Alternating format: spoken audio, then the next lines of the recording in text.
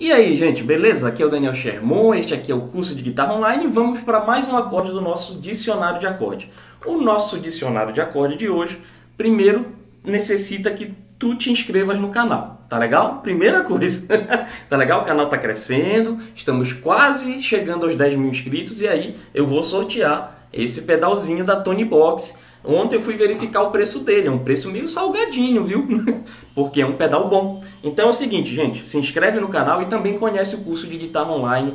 O link está aqui na descrição, curso de guitarra online.net, para poder aprender mais com mais é, explicações esse mundo da guitarra. É o seguinte, Dó sustenido menor com nona. Só que nesse formato um pouco diferentão, ó. Olha o grupo dos alunos ali, ó. É isso aí. Então vai ter o Dó sustenido aqui, quarta casa da quinta corda, Sol sustenido na sexta casa da quarta corda e o Ré sustenido na oitava casa da terceira corda. Então vai ser quarta casa, quinta corda, sexta casa, quarta corda e é, oitava casa, terceira corda. Com isso eu tenho esse acorde lindo. Ó. Inclusive eu posso usá-lo com uma distorção.